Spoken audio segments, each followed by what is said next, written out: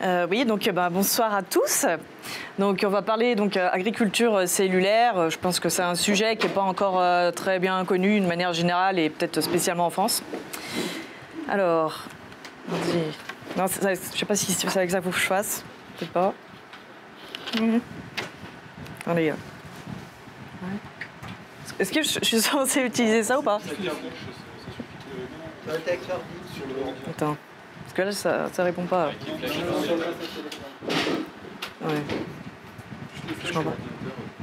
Ah, d'accord. Ok, désolé.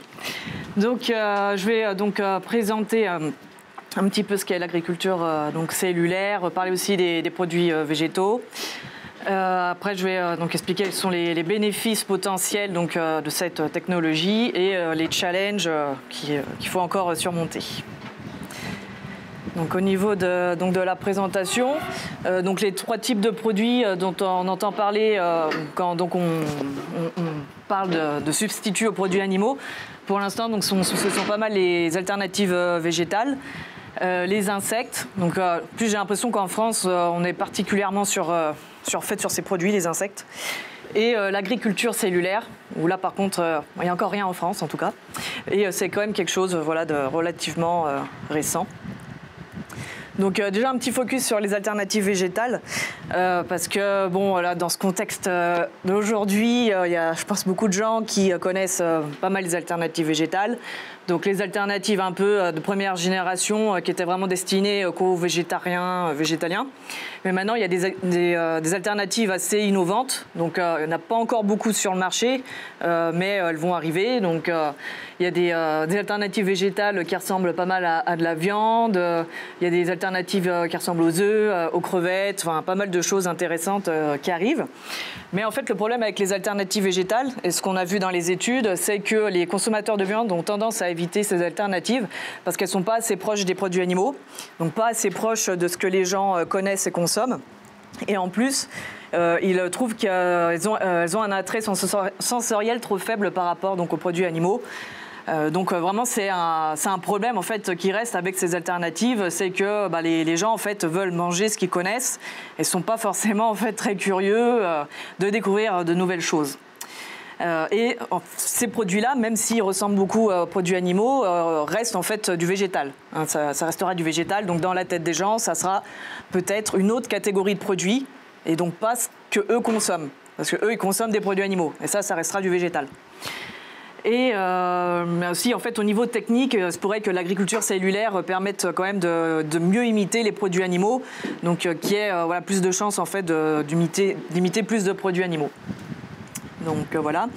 Et euh, en fait, voilà. En fait, l'agriculture cellulaire, euh, c'est pas, enfin, on va dire, ça n'a pas le même but que les alternatives végétales, parce qu'avec l'agriculture cellulaire, le, but, ça serait de donner au consommateur ce qu'il connaît, ce, qu'il consomme, et pas en fait lui expliquer quels sont les problèmes derrière tous ces, bah, les produits animaux. Voilà, c'est juste vraiment savoir qu'est-ce que veut le consommateur, comment on fait pour lui donner, en produisant ces, ben, ces, produits sans tous les problèmes qui sont liés à, à la production de, enfin, de produits animaux traditionnels.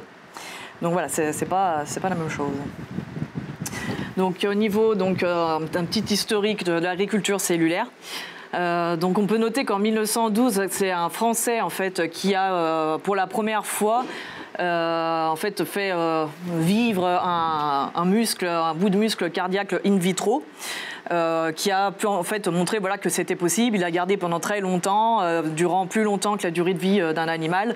Et là, en fait, c'était voilà, plus dans le domaine médical, sachant que cette technique, en fait, vient du domaine médical, de la médecine régénérative, pour tout ce qui est greffe de peau, choses comme ça. Donc c'est vraiment une technique qui vient du milieu médical à la base.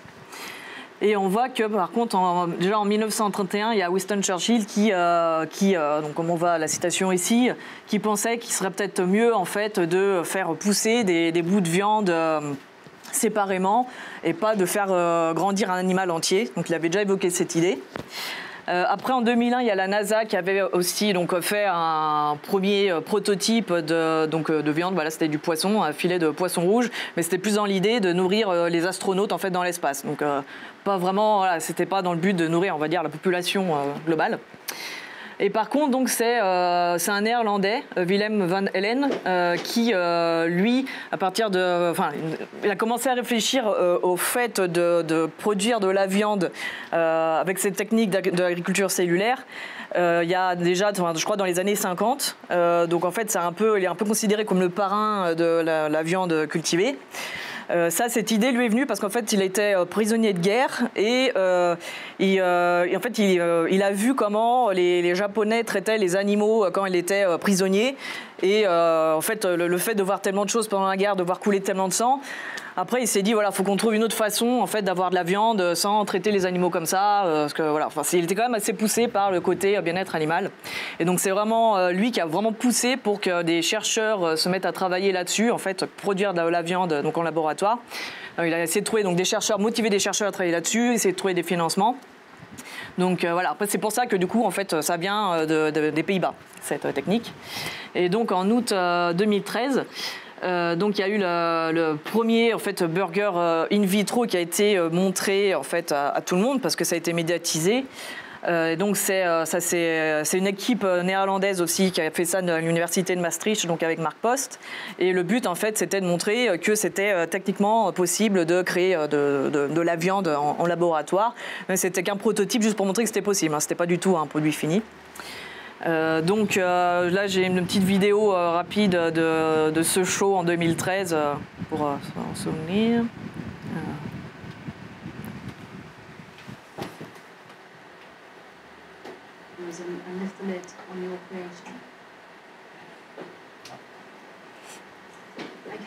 Now obviously in its raw So the aim is to, of course, make a consumer product out of it. L'objectif est bien sûr de faire un produit de consommation pour résoudre tous les problèmes actuels de production de viande. Cela prendra au moins 10 ans encore car il y a beaucoup de choses qui doivent être améliorées. Par exemple la couleur, mais aussi intensifier la production, donc ça va prendre du temps. So, it, it's going to take some time. Aujourd'hui, nous avons vu la preuve pour la première fois dans le monde que vous pouvez réellement faire de la viande à partir de cellules prélevées sur une vache et pas produites à l'intérieur de la vache. Et vous pouvez faire un hamburger à partir de ces cellules, le faire cuire et le manger, et lui donner un goût assez semblable à celui d'un hamburger de vache.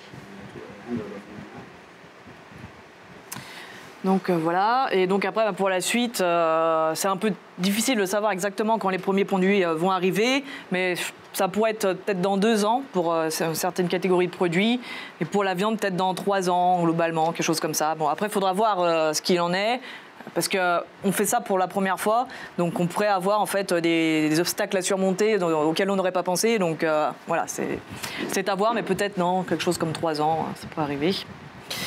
Et euh, donc voilà, il y a aussi voilà, des, personnes qui parlent de l'agriculture cellulaire comme en fait la troisième étape de la production de viande après la chasse et l'élevage. Donc ça serait en fait passer dans nouvelle, euh, un nouveau monde en fait, euh, une nouvelle façon vraiment de produire les, produits animaux. Donc au niveau du processus de fabrication, donc pour ce qui est viande et poisson, en fait c'est pas la même technique que pour ce qui est on va dire les autres produits animaux comme le lait, les œufs, le cuir, la soie. Euh, au niveau de, la viande, euh, en fait, on part donc de cellules d'animal, cellules souches, cellules qui se multiplient beaucoup. Euh, qu'on prend alors soit par biopsie, donc indolore. après, il y a des startups qui, qui, travaillent en fait pour prendre des, cellules sur des plumes, par exemple, ou dans des cordons médicaux d'animaux. Enfin, ils sont en train de voir ce qui ce qui pourrait être euh, le mieux. Après, il y a aussi euh, des, chercheurs qui travaillent pour avoir des lignées euh, cellulaires immortalisées dans le but de faire moins de prélèvements, ou peut-être même plus de prélèvements du tout.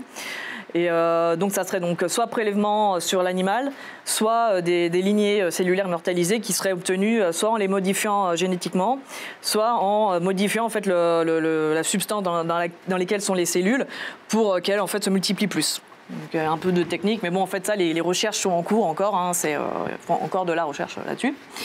Et donc, au niveau de du sérum fœtal bovin, parce qu'on entend pas mal parler de ça.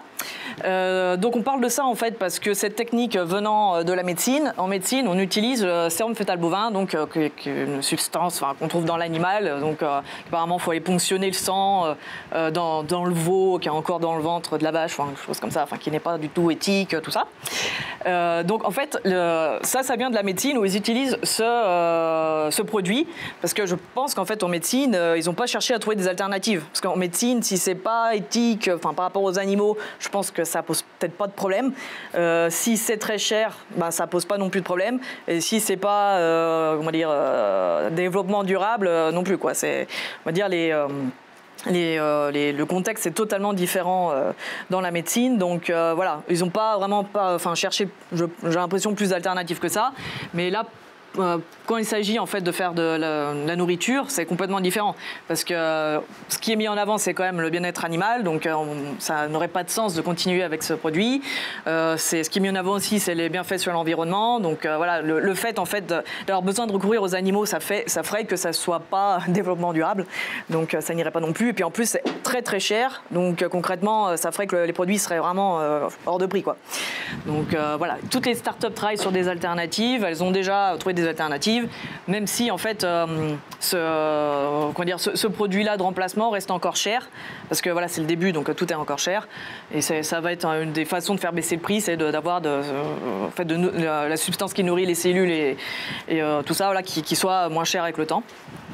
Donc pour le procédé, euh, voilà, en fait, on, prend des cellules, on les nourrit, on met ça dans un bioréacteur. donc un bioréacteur, en fait, c'est une machine qui reproduit les conditions euh, fait, les bonnes conditions pour des cellules pour euh, se multiplier se différencier. Et euh, ben, au bout d'un moment, on obtient du muscle d'animal. Donc voilà la technique. Après, au niveau des autres produits, donc euh, donc c'est pas la même chose, parce que là on n'a pas, enfin on produit pas des cellules, on produit des, protéines. Et euh, là on utilise euh, l'ADN recombinant. Donc en fait c'est une technique qui est utilisée depuis très longtemps au niveau aussi médical et alimentaire. donc le principe en fait c'est de prendre une partie de, un gène d'un organisme pour mettre dans un autre organisme pour que ce nouveau organisme produise la protéine dont on a besoin. et donc ça, par exemple, en fait, la première, euh, premier produit qui, euh, qui, a été fait comme ça, c'est l'insuline en 1978, donc un médicament. Et euh, là, en fait, grâce à cette technique, ça a permis en fait qu'on ne tue plus d'animaux pour aller prendre la substance dont on avait besoin à l'intérieur de leur corps. Quoi. Donc ça a sauvé déjà beaucoup d'animaux le fait, enfin juste en fait cette technique. On a aussi donc la, la pressure végétarienne qui est faite avec cette technique. Donc après, voilà, ça aussi, je pense que c'est peut-être pas un truc que tout le monde connaît, mais euh, il y a pas mal de fromages qui, à la base, sont pas vraiment végétariens parce qu'en fait, on a besoin d'une substance qu'on trouve dans, euh, dans l'estomac des veaux. Et donc, pour ne pas avoir à donc, prendre de substances venant d'un animal, il y a cette technique qui existe pour avoir euh, en fait, une pressure synthétique voilà, qui, qui remplace. Et ben, en fait, on a, on a déjà en fait, beaucoup de ces enzymes, protéines qui sont utilisées dans l'industrie, donc au niveau tout ce qui est la production du pain, de jus de fruits. Euh, en fait, c'est déjà très utilisé depuis longtemps. Donc euh, voilà, c'est euh, mais personne en fait, je pense que là n'avait pensé à faire des produits comme du lait, des œufs, du cuir, de la soie avec cette technique. Et donc le principe voilà, c'est de prendre donc un organisme, lui mettre un, code, un code génétique. Après cet organisme produit donc la, protéine dont on a besoin. Ça se passe aussi dans un bioréacteur, cette grosse machine, et à la fin on, on obtient la protéine qu'on veut. Et donc, comme, euh, comme tout ça sera filtré, euh, normalement, en fait, on ne mangera pas, on va dire, les organismes ont été modifiés génétiquement, parce que ça sera filtré. On ne prendra que ce les protéines qu'on souhaitait produire. Euh, voilà. Donc après, au niveau en fait des usines qui produiront ces produits, ça devrait ressembler à des brasseries en fait, avec euh, plein de voilà de bioréacteurs, de grands fûts. Euh, voilà, donc ça, devrait ressembler à ça. Et il y a aussi des, des startups qui disent que en fait leur but sera que ça soit ouvert au, public et qu'on pourra en fait visiter les usines. Et c'est un petit peu dans le but d'expliquer de, que tout sera très transparent et expliquer aux gens un petit peu en fait euh, par opposition euh, en fait à la production de produits animaux d'aujourd'hui qui est quand même assez cachée surtout euh, la partie enfin abattoir tout ça. Donc là voilà ce qu'ils disent c'est que ça sera ouvert transparent. Donc après bah, à voir si ça se passe vraiment comme ça. Mais enfin je trouve que l'idée est plutôt plutôt intéressante donc après, au niveau des startups, euh, on en a euh, à peu près une trentaine aujourd'hui euh, qui, existent déjà, donc des plus ou moins avancées, hein, parce que ça, on a des nouvelles en fait qui apparaissent régulièrement. Donc, comme on peut le voir, elles sont surtout aux États-Unis et surtout à San Francisco, dans la Silicon Valley. voilà, clairement. au niveau de l'Europe, on est un petit peu en retard. Euh, et après, c'est au niveau d'Israël où, euh, par contre, là, il y, en a quand même quatre. Donc, euh, c'est quand même bien pour un pays. Mais c'est sûr qu'en Europe, on ne peut pas dire qu'on soit vraiment en avance sur tout ça. Même si ça vient justement des, Pays-Bas et d'Europe, c'est vrai que c'est vraiment aux États-Unis que ça se développe beaucoup plus. Donc après un petit point sur, donc sur les différentes startups, donc les pionniers, donc l'université de Maastricht qui a fait donc le premier burger in vitro, preuve de concept. donc c'est, ils sont en train de lancer la startup qui s'appelle Mozamite. Et euh, donc voilà, ça sera sûrement un des premiers euh, à lancer en fait leur produit sur le marché parce que bon, c'est un des, premiers à, s'être lancé là-dedans. Et euh, les, deux photos qu'on voit, c'est de la viande cultivée. donc à gauche, c'est vraiment le premier prototype, à droite, donc c'est un, un, plus récent. Voilà. Euh, il y a donc aux États-Unis, a Memphis Meat qui est aussi assez avancé. Qui, ils ont déjà sorti au moins quatre prototypes euh, de viande avec euh, du, poulet, du canard, boulet, je crois, et bœuf, porc. donc voilà, ils sont sur différents types de viande et ils sont pas mal avancés aussi. Ils devraient être parmi les, premiers à sortir les produits. Il y a aussi une start-up qui s'appelle Just. avant, il s'appelait Hampton Creek. Donc je ne sais pas si vous connaissez, mais c'est une start-up qui est vraiment à la pointe en fait euh, des alternatives végétales innovantes et euh, qui jusque-là faisait donc des alternatives végétales comme de la mayonnaise, des, des œufs brouillés, des, euh, des cookies. Et eux aussi en fait se lancent sur la viande cultivée euh, euh, et, ils disent même qu'ils euh, auraient les premiers produits. Alors au là, il y a encore pas longtemps, ils disaient cette année, là, en 2018, ce qui semble un peu surprenant au niveau de la date. apparemment, la dernière fois que le CEO a parlé, c'était plus, il parlait plus de 2019 maintenant. Mais en tout cas, voilà, ils, sont, ils se sont mis dans la course un petit peu, enfin, il n'y a pas longtemps, et voudraient être les premiers à, sortir les produits. Et travaillent par exemple sur le foie gras cultivé, comme on voit sur, sur la droite.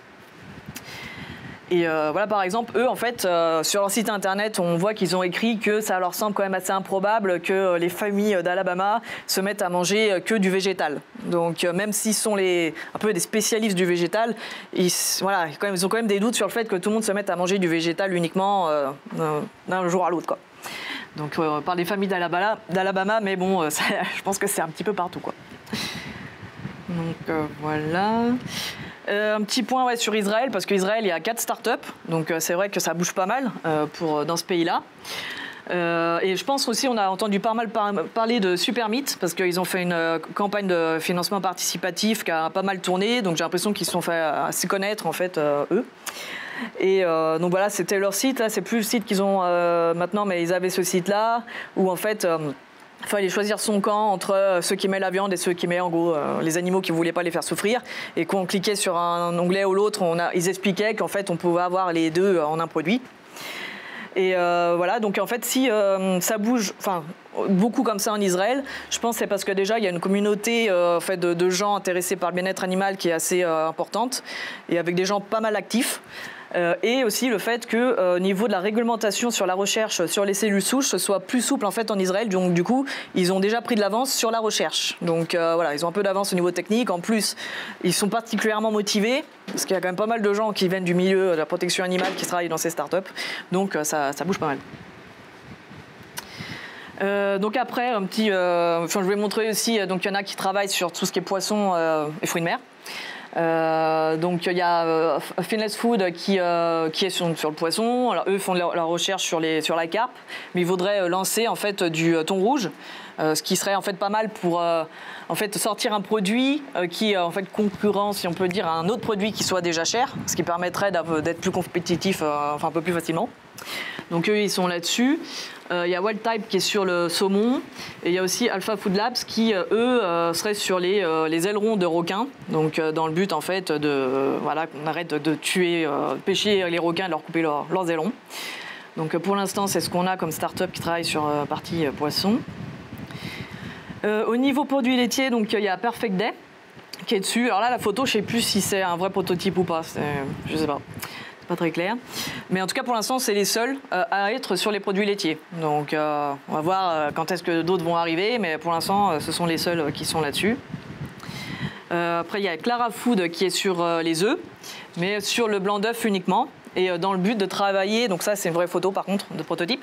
leur but à eux, c'est de travailler avec l'industrie pour remplacer en fait l'œuf dans les formulations de produits, donc le blanc d'œuf. Voilà, autrement, il y a Geltor qui travaille sur la gélatine. Gélatine, un produit aussi qu'on retrouve dans énormément de, différents types de produits. et, ils vont se lancer en fait en premier dans les cosmétiques, et avant d'aller après dans l'alimentaire. Mais au début, ça sera cosmétique. Il y a aussi Modern Mido qui est sur le cuir. donc là, c'est un vrai prototype aussi, avec un t-shirt qui est au MoMA.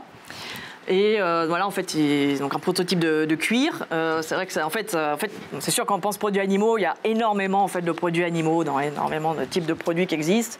Donc il y a aussi euh, le cuir. Et euh, bah, ce qui est intéressant, c'est que euh, en fait, leur technique permettrait euh, d'avoir des, enfin, que leur cuir ait des propriétés que n'a pas le, cuir traditionnel. Parce que, par exemple, avec le cuir traditionnel, on est limité à la taille d'un animal, alors que là, bah, tout peut être fait sur mesure. Apparemment, ça peut être moulé sur des objets. Enfin, c'est il y a plus, enfin, potentiel intéressant par rapport à ce produit-là et donc deux autres startups qui sont sur euh, qui se spécialisent sur l'alimentation pour les produits, euh, enfin pour les animaux euh, de compagnie. donc pour l'instant il y en a deux. Et donc ça, je pense que c'est particulièrement intéressant en fait pour les gens qui ont fait le choix de ne plus manger de produits animaux, mais voilà, qui doivent nourrir des animaux de compagnie. Hein, c'est un problème, voilà qui euh, là pourrait être au moins euh, résolu avec euh, ces, nouveaux produits. Donc ça pourrait être pour animaux de compagnie, aussi animaux dans les refuges, nourrir des carnivores. Donc je pense que c'est aussi assez intéressant de voir ça. Donc pour l'instant il y en a deux qui sont là-dessus, et les deux aussi aux États-Unis. Plutôt intéressant.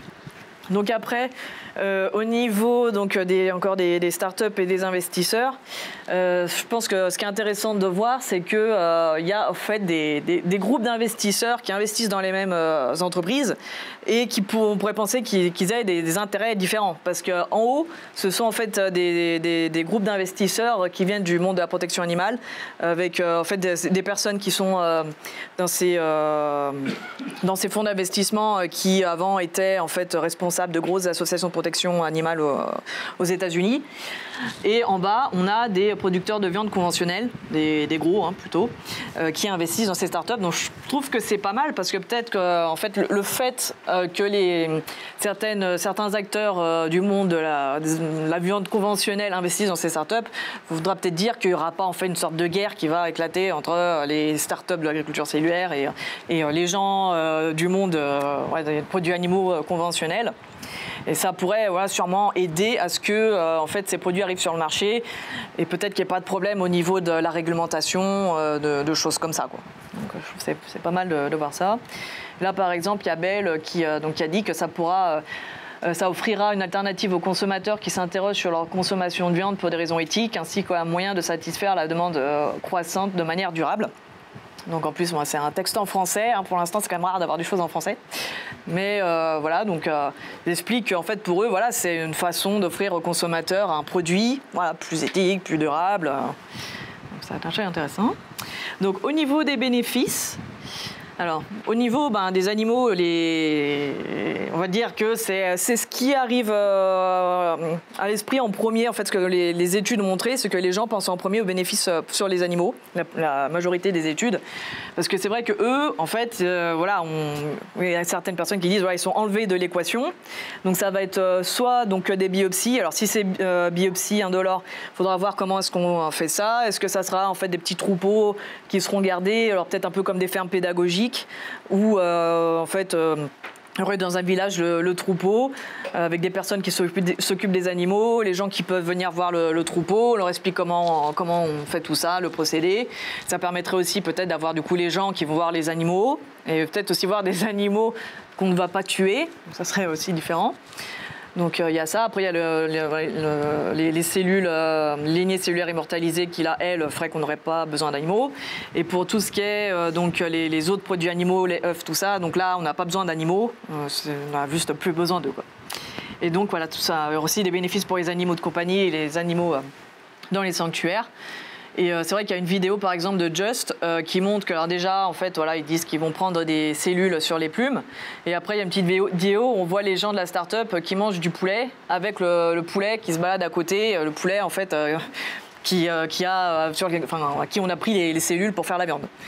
Donc, c'est vrai que c'est un côté un peu magique. Après, donc au niveau de l'environnement, donc pour l'instant, on n'a pas énormément d'études qui ont été faites euh, sur les analyses de cycle de vie euh, de ces produits. Hein. Enfin, tout est assez récent quand même dans ce secteur. Euh, mais les premières qui ont été faites montrent quand même des bénéfices pour l'environnement plutôt intéressants. donc, comme vous pouvez voir quelques chiffres ici sur le graphique, donc beaucoup moins besoin d'eau, de, terre, de gaz à effet de serre, beaucoup moins de gaz à effet de serre. Il y aura plus aussi donc de déforestation, ce qui permettra de conserver les habitats naturels, euh, plus de surpêche, euh, de choses comme ça. Donc il y a juste en fait au niveau de l'énergie où on ne sait pas trop euh, parce que voilà, enfin les, études qui sont sorties n'avaient pas exactement les mêmes résultats sur l'énergie. Donc il se pourrait qu'il y ait plus besoin d'énergie pour euh, la viande cultivée par rapport à la viande de bœuf. Euh, mais voilà, après, en fait, tout ça, ce sont des estimations. Évidemment, il faudra voir euh, concrètement ce qui se passe, parce que pour l'instant, les usines ne sont pas là. Donc, il faudra vérifier tout ça. Et après aussi, se poser la question de qu'est-ce qu'on fait des terres éventuellement qui seront libérées grâce à cette technique. voilà, juste par exemple tout ce qui est par exemple structure paysagère qui aujourd'hui existe parce qu'il y a des animaux qui sont sur ces terres. Comment est-ce qu'on fait? Est-ce qu'on garde des troupeaux qui sont là juste en fait pour pour brouter, voilà, et qu'on garderait et qu'on ne tuerait pas Est-ce que ça serait par exemple les, donneurs pour, qui donneraient après les cellules? C'est euh, quelque chose euh, sur lequel on peut réfléchir. je ne sais pas si beaucoup de gens ont réfléchi à ça pour l'instant. Euh, je n'ai pas forcément l'impression. Après, au niveau des bénéfices potentiels sur la santé, euh, en fait, donc euh, cette viande ne devrait pas euh, demander d'antibiotiques, d'hormones, et donc il ne devrait pas avoir tout ce qui est résidus de pesticides, ankylisants, vermifuges, choses comme ça. le fait que ça soit produit dans un environnement stérile et, très contrôlé et plus facilement contrôlable, ça voudrait dire qu'il pourrait avoir moins de risques de, bactéries, par exemple. Il y a aussi donc la réduction du nombre d'animaux qui pourrait donc réduire les risques de zoonose, donc tout ce qui est vache folle, grippe aviaire, grippe porcine. Et ça serait aussi donc des produits qui pourraient être faits euh, sur mesure, donc avec possibilité de, contrôler le taux de graisse euh, dans le produit. Euh, possibilité de remplacer la mauvaise graisse, mettre à la place de la bonne graisse, des oméga 3 par exemple, et ben, en fait rajouter des vitamines en plus ou en fait ce que voudrait le, consommateur. Donc après en fait ça serait à voir en fonction justement de ce que veut le consommateur. Est-ce qu'on part sur vraiment recréer quelque chose qui ressemble vraiment exactement aux produits animaux ou est-ce qu'on essaye de faire une version encore améliorée? Voilà, disons qu'il y a aussi des bénéfices potentiels pour la santé humaine. Et après, voilà, faudra voir euh, là aussi ce qui se passe. Euh, alors au niveau de l'industrie, euh, aussi, ça sera intéressant parce que alors déjà, euh, ce qu'on dit pas mal, en fait, ce que les gens disent de manière générale, c'est qu'il faut manger moins de viande. On entend quand même pas mal ça. Il faut juste manger moins de viande. Mais c'est pas forcément satisfaisant, on va dire, euh, comme solution. Et même pour l'industrie, parce que eux, euh, leur dire oui, vous allez juste vendre moins de produits, c'est pas une solution pour eux. Donc eux, voilà, il faut, s'ils peuvent plus vendre de, de produits animaux conventionnels, il va falloir qu'ils vendent autre chose. Donc des alternatives, des autres produits, partir sur autre chose. Et donc ces produits-là, ce qui pourrait être bien, c'est qu'en fait, ils euh, devraient avoir les mêmes propriétés fonctionnelles. Donc par rapport surtout, en fait, là je dis ça par rapport aux produits euh, végétaux qui n'ont pas les mêmes propriétés fonctionnelles. Là, ces produits de l'agriculture cellulaire devraient avoir les mêmes propriétés fonctionnelles, ce qui permettrait de, en fait, pas vraiment changer les formulations des produits et, euh, les procédés de, fabrication. De quoi C'est quoi les propriétés fonctionnelles ah bah c'est euh, en fait c'est par exemple les œufs ça a plein de propriétés euh, coagulation euh, le fait de, lier les produits enfin en fait chaque chaque produit a différentes propriétés et là par exemple en fait il y a aucun produit végétal qui reproduit toutes les propriétés de l'œuf par exemple. Donc tandis que là avec ces produits là ça pourrait être plus faisable en fait d'avoir exactement les mêmes propriétés euh, donc la traçabilité aussi devrait être facilitée parce que y a, on va dire, les étapes sont réduites et euh, il y, aurait un meilleur contrôle en fait de tout ce processus. Donc ce qui intéresse aussi beaucoup les industriels parce qu'actuellement c'est quand même euh, sur la traçabilité qu'ils essayent de trouver des solutions les problèmes de traçabilité. la standardisation devrait être aussi plus facile hein, pour un même type de produit, d'avoir toujours le même produit, c'est aussi très important dans l'industrie. au niveau du prix, donc au début ça devrait être plus cher parce que comme tout comme pour tout nouveau produit, euh, toutes les nouvelles technologies, en fait, les premiers produits sont chers parce qu'il n'y a pas d'économie d'échelle. Et après, avec le temps, ça devrait devenir, euh, ça, devrait, ça devrait arriver au même niveau de prix. Et normalement, même dans le futur, ça devrait être moins cher que les produits animaux. Donc ça aussi, euh, pour l'industrie, même pour les consommateurs, ça sera une chose qui sera plutôt intéressante. Et il y a aussi voilà, plus, de pertes financières liées au ben, tout ce qui est scandale sanitaire, euh, la vache folle, tout ça, les problèmes avec les œufs. Ben, on ne devrait plus avoir non plus ces, ces, problèmes et donc ces pertes financières. Et ça permettrait aussi voilà, aux personnes, enfin aux industries qui sont là-dedans d'avoir un avantage concurrentiel, c'est-à-dire de, de, dire que ce produit-là est plus éthique, ce produit-là est plus durable, euh, voilà, d'avoir quelque chose à mettre en avant. Voilà, donc après, euh, donc, euh, au niveau euh, des challenges à surmonter, donc il y en a encore plusieurs, hein, parce que voilà, on est quand même enfin, je sais pas vraiment, on est au milieu, je sais pas, enfin, c'est quand même pas très vieux tout ça. Euh, même si voilà, les produits pourraient peut-être sortir euh, pour en fait tout ce qui est euh, les, produits qu'on dit acellulaires, c'est-à-dire le lait, les œufs, le cuir, ils devraient sortir normalement en premier, donc peut-être dans deux ans pour les premiers, choses comme ça. Et pour ce qui est viande, peut-être un petit peu plus tard, peut-être plus dans trois ans, quatre ans. Euh, donc voilà, donc euh, le prix, euh, c'est bah, un challenge qu'il va falloir surmonter parce que c'est sûr que si ces, produits-là restent toujours beaucoup plus chers, bah, ça ne sera pas tout le monde qui va les acheter, hein, c'est sûr. Donc il faudra qu'au début, il y ait des gens qui comprennent l'intérêt de ces produits, qui soient prêts à acheter plus. donc voilà. Euh, après, il euh, faudra voir aussi si on est capable de, produire euh, des, morceaux entiers de viande, parce que c'est vrai que les premiers produits qui vont sortir, ce sera plus du style viande hachée, donc des burgers, des nuggets, des bâtonnets de, poisson, parce que c'est juste en fait plus facile à faire techniquement. voilà, il n'y a pas de structure en fait. Donc la question, c'est est-ce qu'on sera capable de faire des morceaux en 3D, des morceaux entiers? Là, il y a un peu de recherche qui a été faite, mais c'est sûr que les, les startups vont d'abord se concentrer sur les produits les plus faciles, puis apparemment, étant donné qu'apparemment... Euh, il y a 50% de la viande qui est, qui est vendue, qui est déjà en fait de la viande hachée. Euh, bah, si déjà il y a 50% du marché qui est remplacé, ça sera déjà beaucoup. Donc euh, voilà, donc ça, ça sera à voir. Après, il y a tout ce qui est partie légale, autorisation de mise sur le marché, savoir est-ce que ça va être validé, comment ça va se passer, est-ce qu'il y a des gens qui vont essayer de bloquer. Euh, par exemple, en Europe, euh, d'après ce que j'ai compris, en fait, euh, une fois que c'est autorisé par l'Europe, on ne peut plus revenir en arrière, mais les, membres de, l'Union européenne peuvent freiner en fait l'autorisation vraiment de, mise sur le marché, si, en fait, en disant que bah, y a un danger pour la, santé humaine. Et donc voilà, est-ce que peut-être il y a plusieurs pays qui vont, qui vont dire ça? Est-ce que en fait il y a plusieurs types de blocages qui pourraient exister? Il pourrait dire que c'est dangereux, il pourrait dire que c'est euh, trompeur euh, pour le consommateur. Et puis il y a aussi des choses à prendre en compte. Euh, c'est, voilà, apparemment, donc si on, on, dit que ça remplace un produit qui existe, il faudra que sur le plan, nutritionnel, ça apporte vraiment la même chose que le produit conventionnel. Donc il y a ça. Au niveau des États-Unis, là, ils sont en train justement de, voir qui va réguler. Est-ce que ça va être la euh, FDA ou l'USDA Alors sachant que la FDA euh, a déjà euh, validé des produits un peu alternatifs comme les algues, les champignons de corne, là par exemple, c'est une entreprise anglaise. Ils, euh, valident aussi euh, plutôt tout ce qui est euh, OGM. Et l'USDA, eux, c'est le ministère de l'Agriculture qui sont plus proches des, éleveurs. Et peut-être que, voilà, si c'est eux qui doivent réguler, enfin, autoriser, ça sera peut-être plus compliqué que ce soit voilà, approuvé, du coup. Donc, ils c'est un peu encore du coup, en discussion à ce niveau-là. Euh, donc il y a ça. Après, donc il y a le, fait euh, de, produire à grande échelle, parce que pour l'instant, tout ce qu'on a, ce sont des prototypes faits euh, à petite échelle. Mais est-ce qu'on va réussir en fait à produire à grande échelle? Et ça, c'est vraiment ce sur quoi les startups travaillent aujourd'hui. C'est la production à grande échelle de, ces produits. Donc à, voir si tout se passe bien. Est-ce qu'ils vont avoir en fait des problèmes techniques auxquels ils n'auront pas pensé? Vu que c'est la première fois qu'on fait ça, c'est vrai que c'est quand même. Euh, voilà, tout, reste euh, à vérifier, on va dire.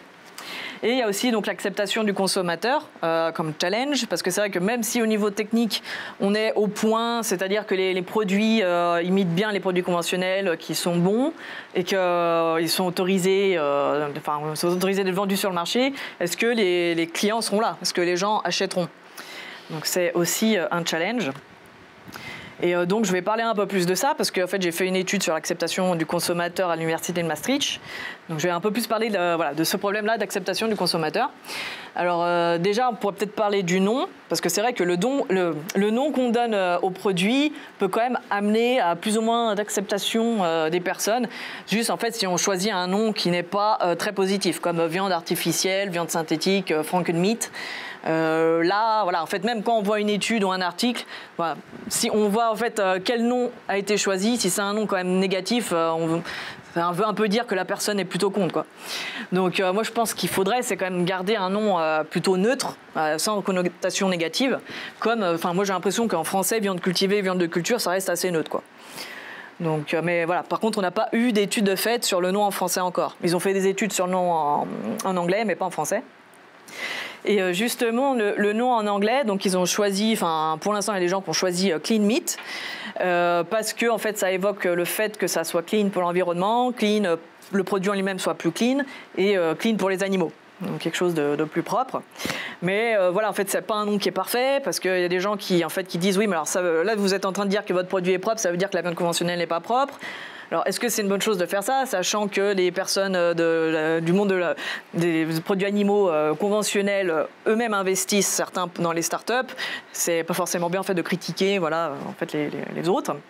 Et après, au niveau, on va dire plus en tant que, français que non anglophone, euh, des fois, il y a, en fait, il y a des journalistes qui traduisent directement clean en viande propre, et du coup, ça donne un nom euh, qui en français n'est pas terrible, je, trouve. Euh, et voilà, donc je pense que ça ne va pas trop, ce, nom-là, ça, ça évoque... Enfin, moi, ce que je pense justement, et au niveau des catégories, c'est que je pense que pour, que ces produits marchent, il faut que ça reste dans la catégorie de produits animaux, de viande, et pas autre chose. Que ça soit pas un produit éthique un produit euh, bien pour l'environnement, parce que mm, il se pourrait que si on, dit en fait ouais ça c'est une viande qui est bonne pour l'environnement, les gens se disent ah oui mais moi euh, je m'en fous de l'environnement, moi je suis pas un écolo, euh, moi je veux manger de la viande, donc donnez-moi ce que je connais quoi, prenez-moi pas un nouveau produit. Donc voilà, je pense qu'il faut que ça reste avant tout de la viande et pas autre chose. voilà. Sinon, donc il y a eu quelques études qui ont été faites sur l'acceptation du consommateur, mais pas énormément pour l'instant. Et en plus, les études qui ont été faites, c'est souvent aux États-Unis, Royaume-Uni et euh, Pays-Bas. Donc euh, c'est pas très représentatif voilà, du monde en général pour le moment. Mais les premières études en, général ont fait ressortir que l'acceptation des personnes est plus forte avec les hommes. En fait, les hommes ont tendance à être plus ouverts à, ces produits, à ce concept. Les, les gens plus, plutôt jeunes, plutôt éduqués, euh, plutôt les consommateurs de viande que les végétariens, euh, véganes. c'est plus dans ce sens-là. Alors après, est-ce que la question, c'est est-ce que les végétariens voudraient manger cette viande ou est-ce qu'ils sont en faveur? Voilà, ça faudrait avoir un peu plus creusé ça. Et aussi, voilà, le fait que en fait, plus une personne est familiarisée avec, euh, avec cette technologie, ces produits, plus elle a tendance à accepter enfin, ces, produits, à être en faveur de son développement, à être susceptible d'acheter, de consommer plus tard. Donc en fait, c'est un peu là-dessus qu'on peut, euh, c'est le, critère euh, sur lequel on peut jouer pour en fait augmenter ou pas en fait l'acceptation des gens. C'est juste expliquer en fait, expliquer ce que c'est, expliquer quels sont les, bénéfices potentiels de, ces produits. Euh, voilà. Au niveau des remarques négatives qui ressort pas mal, c'est le fait que ce soit pas naturel. Donc ça, c'est ce qui ressort vraiment en premier dans la plupart des cas. Donc le, côté pas naturel et une crainte que ça soit euh, des produits qui soient pas bons, euh, mauvais euh, pour la santé. Et par contre, au niveau des avantages perçus, donc la, plupart des études ont montré que c'est plutôt le bien-être animal qui est perçu en premier. Euh, ensuite, que ce soit une, façon, en fait, un bon moyen de nourrir la population humaine et répondre à la demande qui, va être, qui va exploser, la demande de viande qui va exploser dans les années qui viennent. Euh, euh, ils ont aussi dit que c'est une bonne chose pour l'environnement et par contre, il y en a aussi qu'on dit que ça serait bien pour la santé et que ça serait un produit peut-être plus, plus sûr. Donc voilà, alors après au niveau de quelques chiffres, euh, en fait on peut voir que c'est quand même assez variable. Au niveau par exemple de la volonté de goûter, il y a différentes euh, études, alors vraiment on a tout mélangé, des sondages, des, études qualitatives, quantitatives, mais on voit en fait que les, chiffres sont vraiment assez variables d'une étude à l'autre. Et alors aussi, euh, en fait c'est parce que déjà à chaque fois le, nom utilisé pour le produit n'est pas le même, on, explique plus ou moins de choses sur le produit. En fonction des gens, bah, voilà, ils sont plus ou moins déjà informés de ce qu'est euh, l'agriculture cellulaire, la viande cultivée ou pas, plus ou moins informés de quels sont les problèmes liés aux produits animaux conventionnels. Donc ça fait que voilà, il y a beaucoup de variations euh, dans les résultats, mais en général, euh, la volonté de goûter est quand même plutôt élevée dans la plupart quand même des études. Les gens seraient quand même assez curieux quand même de goûter malgré tout. Alors ah, là, je vais donc un peu parler de l'étude que j'ai faite à Maastricht, donc à Maastricht avec Marc Post.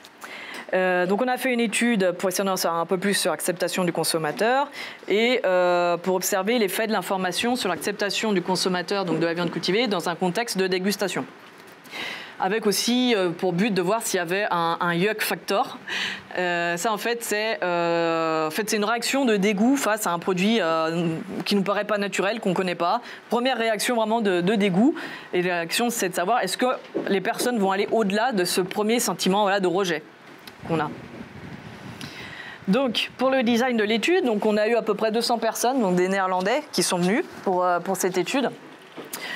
Euh, alors, donc il y a à peu près 200 personnes qui sont venues, qui ont d'abord euh, répondu à des questions. Est-ce que vous avez entendu parler euh, de la viande cultivée avant? Est-ce que vous êtes en faveur ou contre son développement? Est-ce que vous voudriez goûter? Voudriez acheter? Ce que vous voudriez remplacer? Après ça, on les a séparés en trois groupes et chaque groupe a reçu des informations différentes. le groupe 1 a reçu des informations sur les bénéfices sociétaux, c'est-à-dire on a expliqué que ça serait une bonne chose pour les animaux, une bonne chose pour l'environnement.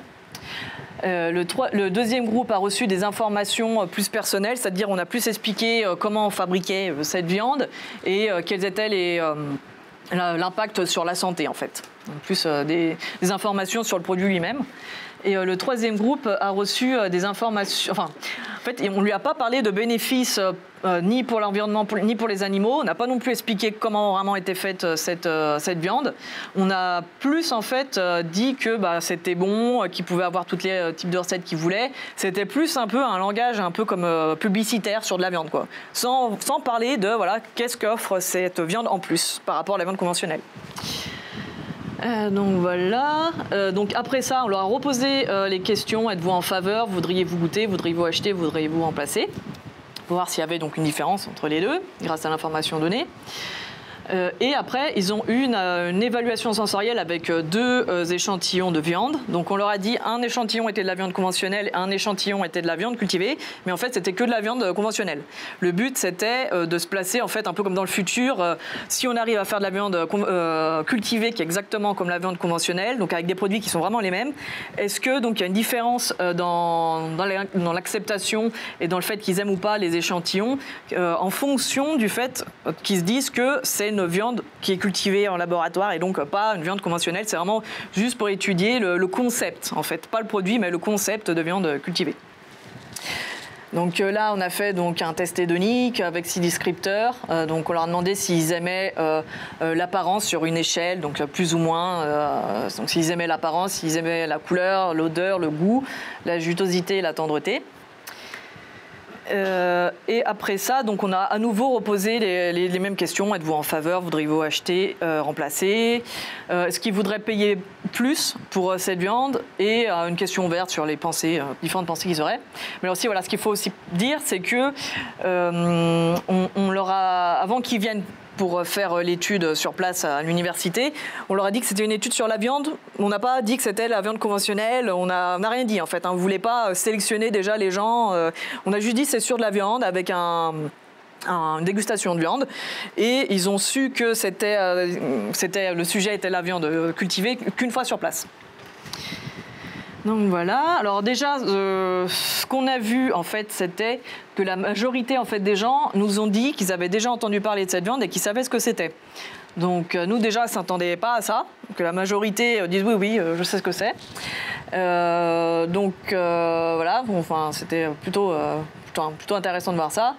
Et on sait aussi qu'il y a une, corrélation positive entre donc, le niveau de connaissance et l'acceptation. Donc euh, ça a sûrement joué en fait sur euh, l'ensemble des résultats de notre étude. Mais voilà, euh, il y a quand même que 11% qui n'avaient jamais entendu parler de ça. Alors je pense qu'en France, les résultats seraient différents. après, au niveau des effets de l'information, donc les trois types d'informations qu'on a données, c'est-à-dire les euh, donc, bénéfices euh, euh, sociétaux, bienfaits sur l'environnement, les animaux, le fait qu'on puisse nourrir plus de, personnes. le deuxième groupe, donc information sur le produit en lui-même, et le troisième groupe, on n'a pas parlé de bénéfices, on a juste dit que c'était la bonne viande. Donc ces, trois types d'informations ont amené à une acceptation plus, plus élevée, avec une légère différence en fait pour le deuxième groupe avec les bénéfices personnels qui ont eu une acceptation qui a, qui a légèrement plus augmenté par rapport aux deux autres groupes. Mais globalement, les trois types d'informations ont fonctionné. On pensait avoir euh, bah, par exemple, on pensait observer que le troisième groupe n'est enfin, pas de, plus l'acceptation qui augmente en fait parce qu'on leur a pas du tout parlé de bénéfices. Donc on s'est dit peut-être eux ils vont se dire mais c'est qu'est-ce que c'est que ce truc, à quoi ça sert quoi. Et en fait non, bah, dans les trois groupes l'acceptation a augmenté. Après, au niveau de l'analyse sensorielle, alors déjà la volonté de goûter, parce que donc ils avaient devant eux quand même deux échantillons de viande. Un, c'était dit et écrit que c'était de la viande conventionnelle et que l'autre échantillon c'était de la viande cultivée. Et euh, donc là, en fait, ils ont tous goûté l'échantillon de viande cultivée. Donc on, s'attendait quand même à ce qu'il y ait quand même quelques personnes qui refusent, qui, qui peur ou voilà. Mais ils ont vraiment 100% des, participants ont goûté euh, l'échantillon qui pensait de la viande cultivée. Avec euh, certains qui voilà qui regardaient ça un peu sous toutes les coutures. A aussi une personne qui m'a demandé s'il pouvait prendre une photo euh, de l'échantillon. Mais voilà. Donc ça aussi on s'attendait pas à ce que vraiment tout le monde goûte. Et, euh, et, le fait, enfin, les, sujets sont, ont été plus disposés à goûter le burger cultivé après information aussi. Donc là aussi, pas de différence entre les trois groupes. Et donc au niveau des différents descripteurs, il n'y a pas de différence à part au niveau du goût. Parce qu'en fait, les gens, les participants, ont plus aimé le goût du burger cultivé sachant que c'était la même viande. Mais euh, ils ont trouvé que bah, c'était meilleur euh, l'échantillon de viande cultivée. Donc là, on, serait, on aurait pu s'attendre à l'inverse, qu'ils disent, enfin, disent que c'était plus mauvais parce que voilà tout un concept. S'ils n'avaient pas été en accord avec le concept, ça aurait pu influencer sur leur perception. Et ils auraient pu dire, bah non, euh, que c'est plus mauvais, alors que là, en fait, non, ils ont, dit que c'était même meilleur. Et là aussi, donc, le type d'information n'a pas affecté l'appréciation des échantillons. Euh, donc sur aucun donc voilà, des descripteurs, comme j'avais dit, et pas de différence entre les trois groupes. Euh, au niveau euh, de la volonté de payer une prime, donc de payer plus cher, donc on avait posé la question quel est le prix maximum que vous seriez prêt à payer pour un burger cultivé sur la base de 1 euro pour le burger classique que vous venez de goûter? Donc là, il y a une majorité, 57% euh, des gens, euh, des participants qui étaient prêts à payer plus. Donc après, bien sûr, c'est du déclaratif, hein, comme toutes les études comme ça. Mais c'est quand même intéressant de voir qu'une majorité des gens se disent prêts à payer plus pour cette viande. Et, euh, quand on regarde en fait combien ils seraient prêts à payer plus, en moyenne, ça serait 37 centimes d'euros qui seraient prêts à payer en plus. Et là aussi, donc pas de différence entre les trois groupes au niveau de la volonté de payer la prime. Et euh, donc on a posé aussi une question ouverte. Donc on a demandé en fait quelles étaient vraiment leurs pensées euh, qu'ils avaient sur la viande cultivée, donc positif, négatif, vraiment tout. Donc là en fait j'ai fait un focus sur le troisième groupe à qui on n'a pas parlé des bénéfices. Donc ils n'avaient aucune information sur les bénéfices, sur euh, comment c'était fabriqué tout ça. Et en fait ce qui ressort en premier, c'est que c'est une bonne chose pour l'environnement. Donc on s'attendait euh, pas non plus à ce que des gens à qui on explique en fait rien nous disent ah oui c'est une bonne chose pour l'environnement puis après donc c'est une bonne chose pour les animaux c'est une, euh, bonne alternative euh. et après le, fait que ce soit, bon pour l'environnement bon, bon pour, les animaux c'est aussi ce qu'on a retrouvé dans les deux autres groupes mais en fait ce qu'on voit c'est que les gens sont déjà pas mal informés des, des bénéfices en fait de cette viande c'est voilà alors après sûrement voilà pourquoi Est-ce que ces gens-là sont aussi informés euh, C'était intéressant de, le voir. C'est vrai qu'en fait, tous, les résultats qu'on a eus, on ne s'attendait pas à les avoir. Euh, par contre, quand on regarde donc les, les, commentaires négatifs et donc plutôt les craintes, ce qui ressortait, et là aussi pour les trois groupes, en vraiment en premier, c'était la peur que ce soit trop cher, que le prix euh, soit trop élevé largement euh, devant les autres, euh, les autres peurs. Donc ça, je pense que c'est lié au fait que euh, quand en 2013, il y a eu la présentation du premier burger in vitro à Londres, les journalistes ont énormément parlé du prix, sans voilà, dire que ben, tout premier prototype était forcément cher et qu'après les prix baissaient. C'est peut-être le fait que ce soit de quelque chose alimentaire, de la viande, et du coup ils ont vraiment mis l'accent là-dessus. Et c'est vrai qu'il y a pas mal de gens qui du coup sont presque persuadés que ça va rester hyper cher. Donc, on va dire, si ça reste hyper cher, ça ne marchera pas. Quoi. Enfin, forcément, on devra faire baisser les prix. Mais ça reste vraiment quelque chose, voilà, les, gens restent quand même assez euh, bloqués sur cette idée d'un prix inabordable avec aussi euh, la peur euh, que ça soit en fait un produit que pour les riches quoi. Donc il y a aussi pas mal qu'on dit ça, ils voulaient pas que ce soit un produit pour les riches. Et aussi, voilà, dans les autres craintes, on voit aussi que dans ce groupe-là, euh, qui nous ont parlé de, ben, des effets négatifs sur les, les, éleveurs et les gens en fait dans l'industrie euh, de la viande qui, euh, qui, n'auraient plus leur place en fait avec cette nouvelle façon de faire des, produits animaux. Après, avec des, des peurs pour les risques sur la santé. Et après, quand on regardait par contre les, questions vraiment qu'ils posaient sur, sur cette viande, c'était plus des questions sur les aspects nutritionnels et est-ce que c'était bon pas pour la santé. Donc, euh, comme on avait vu aussi que ce qui avait amené à plus d'acceptation, c'est quand même les informations sur le produit lui-même, justement les conséquences, l'impact sur la santé. C'est a priori, enfin pour cette population, c'est ce qui a le plus d'importance, c'est de leur expliquer comment c'est fait, euh, ce que ça vaut au niveau nutritionnel et euh, sur l'impact sur la santé. Donc voilà, et après, donc quelques chiffres qu'on a eu, enfin globalement, que je trouve en fait aussi assez intéressant, c'est que on pourrait se dire que euh, avec ce niveau d'information-là, et si le produit est semblable euh, au produit conventionnel, euh, on aurait 84% des gens donc, qui seraient en faveur au final de, cette viande. y en aurait plus de 80% qui voudraient acheter et 70% qui voudraient remplacer la viande conventionnelle par cette viande-là. Donc avec cette population-là. Euh, donc voilà, après, il faut, voir que donc là, c'était une étude faite avec des Néerlandais, avec Marc Post, euh, qui est. en fait, c'est vrai que lui, ça reste un peu euh, actuellement le parrain hein, de la viande cultivée dans le monde. Alors, est-ce que pour eux, ça marche un peu comme une personne de référence Ça vient de chez eux, donc ils ont tendance à plus enregistrer les informations, ce qui ferait qu'ils seraient plus informés, ils auraient mieux, compris les bénéfices, ils auraient peut-être aussi moins peur parce que bah, c'est quelqu'un de chez eux qui, fabrique ça, qui savent aussi que c'est à la base, Marc c'est un docteur. Hein, qui, euh, voilà, donc on se dit aussi, c'est quand même un docteur qui développe le produit. C'est ça, normalement, ça ne devrait, ça devrait pas être dangereux pour la santé. Mais euh, en fait, concrètement, les résultats qu'on a eu là, c'est les résultats les plus positifs que j'ai vus dans les, euh, les études sur l'acceptation du consommateur pour l'instant. Donc est-ce que les Néerlandais, les seraient les gens euh, vraiment les plus informés dans le monde euh, et les, potentiels euh, enfin, premiers acheteurs parce que voilà, ils ont compris pourquoi c'est une bonne chose. Et ça serait aussi très intéressant bien sûr d'avoir ce type d'études dans les autres pays. dans des pays par exemple comme la France, où j'imagine que ça serait assez différent. Parce que c'est vrai qu'aux Pays-Bas, la, culture gastronomique est moins, moins forte. Euh, voilà, ils sont peut-être moins attachés à leur tradition, euh, même à leur langue par exemple. Là-bas, il y en a, ils m'ont dit peut-être dans deux générations, plus personne parle néerlandais et ils s'en foutent quoi. Enfin, c'est un peu ça. Donc c'est sûr, ils sont moins attachés euh, à leur côté traditionnel. Et ils sont aussi beaucoup euh, comment dire, euh, au courant des, problèmes euh, sur l'environnement par rapport à l'environnement, parce qu'ils ont eu au début du siècle des problèmes d'inondation, ils ont fait des, gros, des grosses constructions pour empêcher la, mer de monter, qu'il y ait d'autres inondations. Peut-être que pour eux, en fait, les problèmes environnementaux, ça leur parle plus, beaucoup plus concret. Donc c'est voilà, je pense qu'il y a des facteurs aussi qui font qu'avec une population comme ça, ce sera peut-être plus simple. Quoi. Le fait qu'il y ait une culture gastronomique moins forte, qu'il soit aussi plus ouvert, de manière générale, plus ouvert à l'innovation, plus au courant euh, ben, qu'il faut, faut, faire quelque chose en fait pour l'environnement. Voilà, tout est... Mais plus d'études, euh, ce serait bien d'avoir plus d'études pour avoir plus d'informations sur, sur tout ça. Et donc, bah, ce qu'on a vu aussi avec cette étude, c'est que le yuck factor, ce facteur de, rejet, parce qu'en fait, ce yuck factor, il y a quand même pas mal de gens qui en ont parlé, parce qu'il y a quand même pas mal de gens qui disent personne n'en mangera. Hein, moi, quand j'ai fait des présentations en France, il y en a quand même qui m'ont dit ça marchera jamais. après, quand on monte ces, ces études comme ça, ils disent oui, bon, bah, ça marchera pas avec les Français.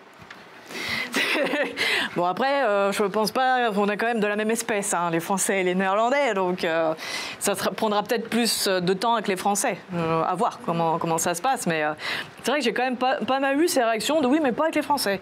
Ou le, côté oui, mais les Néerlandais, ils mangent n'importe quoi, donc c'est normal. Donc voilà, c'est un peu étrange. Euh, donc voilà, et donc euh, en conclusion, donc il y a quand même des bénéfices potentiels, parce qu'il faut quand même dire potentiels, parce que pour l'instant les usines ne sont pas là, et on ne peut pas vérifier les choses, mais des potentiels qui sont quand même très intéressants pour les animaux, pour l'environnement, même pour la santé humaine.